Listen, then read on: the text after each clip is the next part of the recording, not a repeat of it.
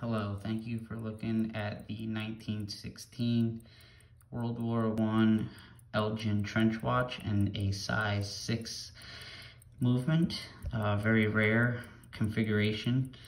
Um, the movement has not been serviced, uh, but it has been running for a full day. Uh, so over 24 hours now. Um, the dials and is a metal dial and I mean it's just in beautiful shape. There was no lume on it when I had it um, so I relumed it.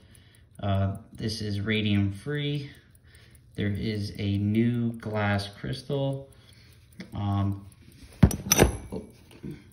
comes with the original band and the shrapnel guard that came along with it.